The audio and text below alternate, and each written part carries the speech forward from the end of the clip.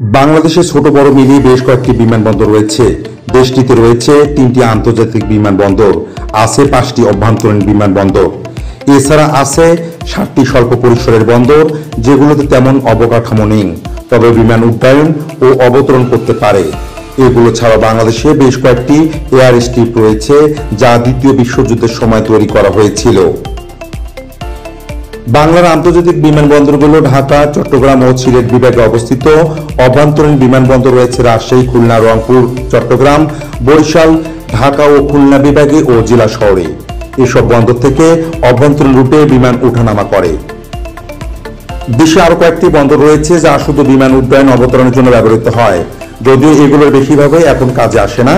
এই তালিকায় আছে কুমিল্লা, বগুড়া, ঠাকুরগাঁও ও লালমনিরহাট জেলা। অব্যবহৃত বিমানবন্দর বা এয়ারট্রিপ আছে চট্টগ্রামের সন্দ্বীপ, ফেনী কক্সবাজারের চকরিয়া, টাঙ্গাইলের ঘাটাইল মৌলিবাজার, কিশোরগঞ্জের বাজিতপুর এবং পটুয়াখালী জেলায়। পটুয়াখালী বিমানবন্দর বাংলাদেশের দক্ষিণে, বরিশাল বিভাগের পটুয়াখালী জেলা অবস্থিত। এটি কুয়াকাটার পর্যটকদের আকর্ষণ করার জন্য নির্মিত হয়েছিল। দুই হাজার সাত সালে ঘূর্ণিঝড় সিডারের পর বন্যা ত্রাণের উল্লেখযোগ্য সহায়তা করে। বর্তমানে এটি বাংলাদেশের অব্যবহৃত বিমানবন্দরগুলোর একটি সরকারের অপর্যাপ্ত তহবিলের কারণে এটি পুরোপুরি নির্মিত হয়নি। কিন্তু কুয়াকাটা পর্যটকদের চাপ বেড়ে যাওয়ায় পটুয়াখালী কর্তৃপক্ষ বিমানবন্দর নির্মাণ সম্পন্ন করার কথা বিবেচনা করছেন। এটি বর্তমানে বাংলাদেশের নৌবাহিনীর নিয়ন্ত্রণাধীন, যার জন্য এটি একটি জরুরি রানওয়ে হিসেবে কাজ করে।